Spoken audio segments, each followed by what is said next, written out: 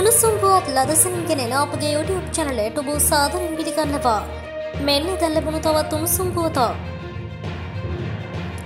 රිදි තිරේත් පුංචි තිරේත් සුළුතරයක් කියන හාස්‍ය උපදවන රංගන ශිල්පිනියන් අතරින් ඉහළින්ම ඇය ඉන්නවා.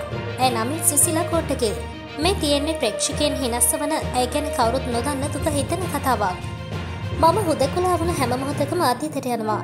ඒ වෙලාවට මට මගේ දෙමාපියන් එක්ක තරහක් වෙනවා.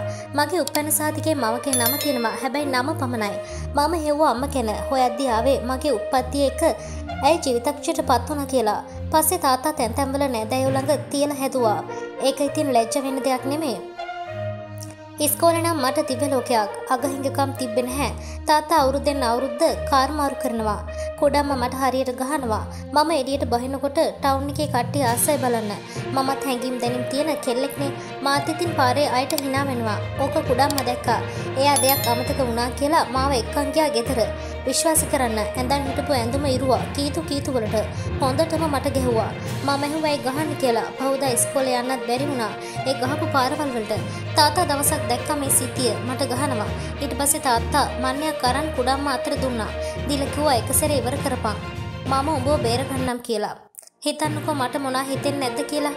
ඒත් පස්සේ කාලෙක මට හිතුණා තාත්තා හරි අසරණයි. ඒ නිසා එහෙම කියන්නෙත් කියලා. මෙවැනි උණුසුම් පුවත් ලදසනින් දැන ගැනීමට අපගේ YouTube චැනලය සබස්ක්‍රයිබ් කර බෙල් අයිකනය ක්‍රියාත්මක කරන්න.